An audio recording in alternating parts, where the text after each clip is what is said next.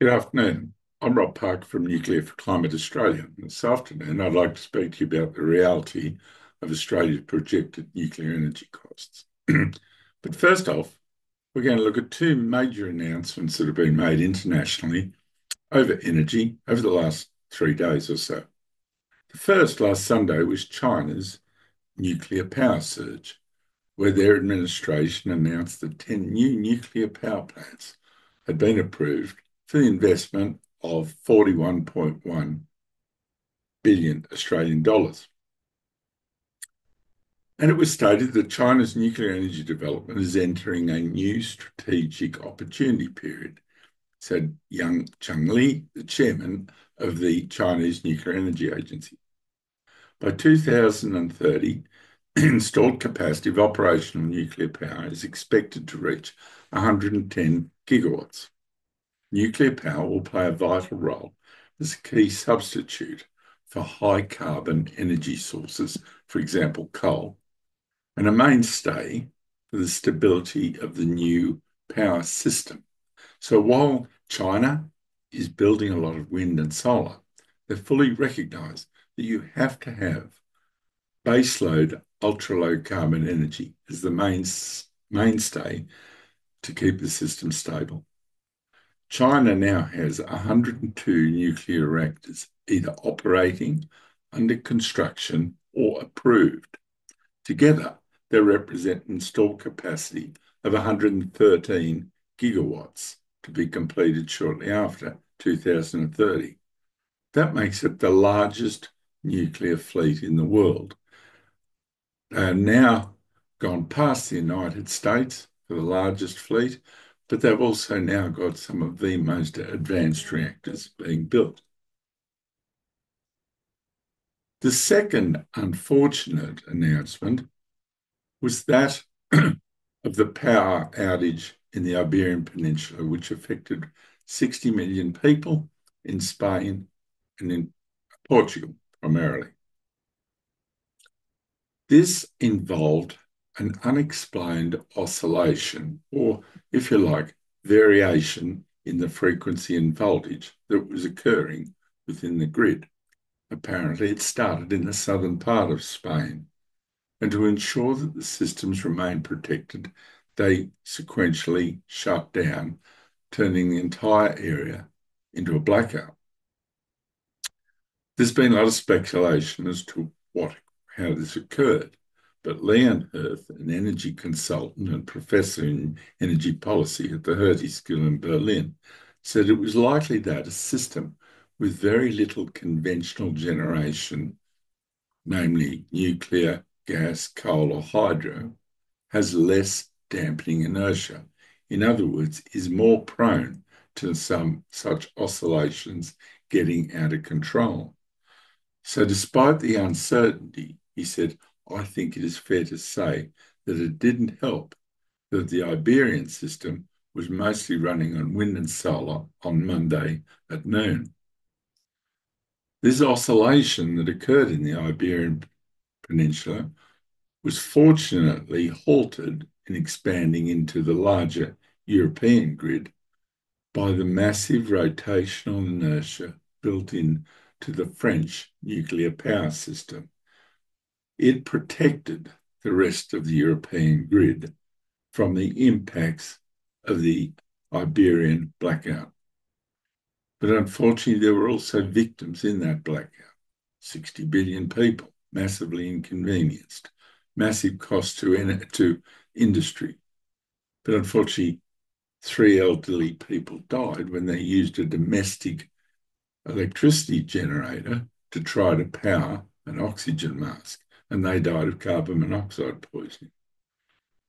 And a woman, unfortunately, died in Madrid when she caused a fire with a candle that she was using to get light because there was no light within the home. Commuters were stuck in trains. Some 13 trains, major interconnecting trains, were caught. People had to be evacuated, and rail corridors had to be cleared of these people. It's been a massive problem. But unfortunately, here in Australia, we have Spanish renewable energy contractors coming into this country and making a lot of money out of our subsidized systems on the back of the energy havoc that they've created back home in Spain. We need to get on top of this and change the direction of Australia's future energy transition. We cannot have the type of havoc occurring in Australia which has happened in Spain. But getting in the way of a fair-minded, objective analysis of how we handle our energy transition has been the Australian Labor Party and what I call their anti-climate action allies, such as the Climate Council Climate 200 or some of the Teals. These people are wedded ideologically to renewables.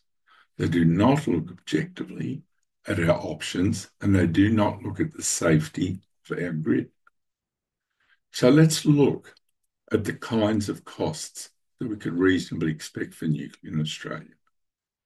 What I'm saying is that most plants would cost in the region of $9-$12 billion per unit. The ALP are claiming this $600 billion figure that has been dreamt up, and that would convert to about $46 billion per unit. So I'll look at some of the plants we could have. They've proven track records. These are not dreams. We've got the South Korean APR 1400s. They're the current mainstay, the current plant that's being built in South Korea, the plants that were built at the Barakah plants in the United Arab Emirates. They would cost about $12 billion a unit. Or their smaller cousin, the AP1000, APR 1000. That was the mainstay traditionally of the South Korean plants. They cost just under $12 billion. Within Australia, some of our sites will be a bit constrained, and we need to be looking at even smaller plants. And we have the Canadian CANDU EC6. We could combine with our Canadian cousins and build these 740 megawatt units at about just over 9 billion a unit, or their larger Canadian Monark reactor, again about a 1 gigawatt plant for about 10.5 billion. Contrast those costs with what we're currently seeing with the recent announcement in China with their HPR 1000. They're costing about 4 billion, or about a third the cost of the equivalent types of plants coming out of Korea, Canada. One of the world's largest exporters of nuclear power plants, of course, is Russia. They're building plants in Bangladesh, they're building them in Turkey, and they're building them in Egypt. And their VVER 1200s are generally costing a grain, around about the $10 billion per unit. Within the United States, MIT have looked closely at the future costs of a fleet of AP1000. That's the Westinghouse plants. Again, uh, they would be looking at around about the $10 billion, $9.8 billion per unit. Contrast that with these callous, indifferent claims made by the ALP that they'll cost $46 billion a unit. These people do not care about having ultra-low emissions, ultra-low-cost energy in Australia. I used to be an endorsed ALP candidate, but I left that party when I realized that really, at their heart, is neither the environment nor low-cost energy was at the heart of ALP policies. All they cared about was winning at any cost. So let's look at the coalition's current policies. It's not perfect, and we'll go into some of the issues. They're proposing seven plants, two in Queensland at Callide and Tarong, two plants in New South Wales at Liddell and Mount Piper, one in Victoria at Loy Yang, one in South Australia at Northern at the top of the Gulf, and one in Muja in Western Australia. What sort of reactors would be suited to the coalition's plan? Well, initially, Peter Dutton and Ted O'Brien stated that they weren't actually going to announce the size of the plants to be built at each site.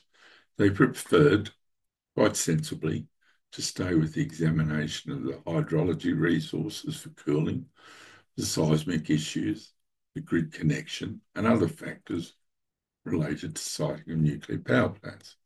But then frontier economics came onto the scene, and so clearly more meat had to be put on the bones of this policy. Along the way, therefore, the coalition's policy came under more scrutiny with respect to things such as cooling or things such as seismic activity. So at Nuclear for Climate Australia, we've had a look at trying to put the types of plants that we consider would rationally fit within the coalition's policy. These are plants that currently exist. At the two sites in Queensland, Callide and Tarong, they are water-constrained sites, and we don't think the plants bigger than the existing coal plants really are sensible at this stage until more analysis is done. And so we consider there two CANDU EC6s as each of those sites would work quite well. But likewise at Mount Piper, again, the shared cooling resource there between Mount Piper and the Ulwell sites would probably serve two CANDU plants. At Liddell, where the cooling facilities served by the Hunter River are much greater, we could put two, or put three of the South Korean APR1000s. Five of those could go in at Loy Yang because there is much larger existing cooling resource that ser served Loy Yang, Hazelwood, and also Yallourn. And in Northern Power Station site in uh, South Australia, we could also consider two of those plants, particularly because of the large industrial demand to the north of that state. Total cost for these plants would be about 157 billion. That's for the NEM. And if you add in the two that could be built at Muja in Western Australia, you get up to about 174 billion for the lot. So if we now translate those sorts of costs to some modeling, in this graph, I'm showing in blue the capital costs of three different plants. The one on the left is AEMO's progressive change. The one in the center is the coalition's plan, and the one in the on the right is Nuclear for Climate's plan. What we've done here is we've costed out the capital for each energy system between 2030 through to 2090, 60 years over the life of a nuclear power plant. And we've also assumed, we've normalized them all at 277 terawatt hours per year. So there's no dispute over one being putting out more than the other. AEMO's progressive change we consider will cost 955 billion, exclusive of transmission and distribution. The Coalition's plan we consider will cost about 799 billion. The nuclear component on the NEM is 158 billion. And again, no transmission or distribution is sitting in that, but there's quite a bit of residual wind and solar. On the right-hand side, Nuclear for Climate's plan will cost 592 billion, but the nuclear component is much higher at about 330 billion. We'll explain that in the next slide. because the more nuclear put in to these plans, it improves costs and emissions. Again, on the left-hand side, we see AEMO's progressive change we consider the cost for that at about 52 cents per kilowatt hour. The coalition's plan, we consider it's got about 41% nuclear and at about 48 cents. It's still got a lot of renewables and storage, which is driving up its cost. On the right-hand side, We've stripped the renewables down to about the level that we currently have in Australia. We've removed a lot of the renewables, of the storage, and we've driven the nuclear component up to about 75%. And that gives us a cost down around 0.343, primarily because there's less storage, less transmission, and less distribution. But look at where the emissions fall. With progressive change, because of the large amount of renewables in it and the large gas component, it's at about 150 grams of carbon per kilowatt hour.